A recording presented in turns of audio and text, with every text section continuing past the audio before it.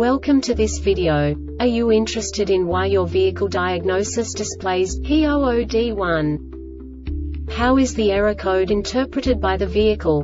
What does P00D1 mean, or how to correct this fault?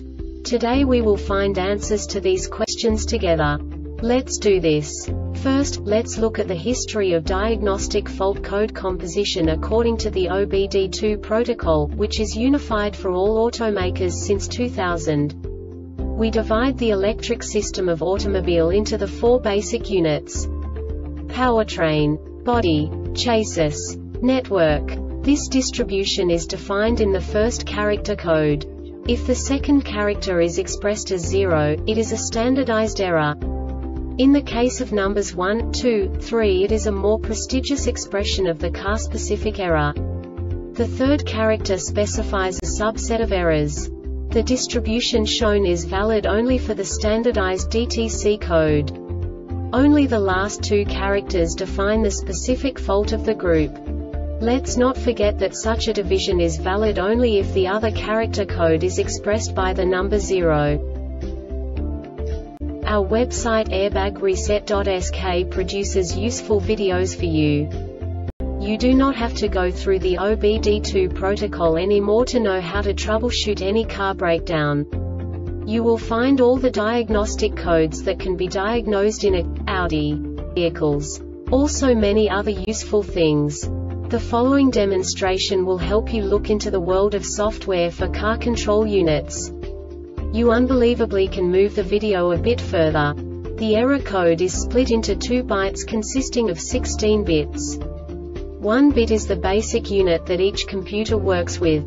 The bit has two logical states.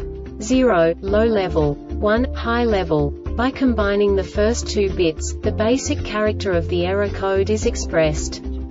The next two bits again determine the second character.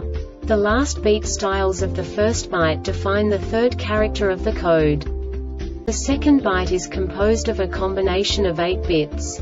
The first 4 bits determine the fourth character of the code. And the combination of the last 4 bits defines the fifth character.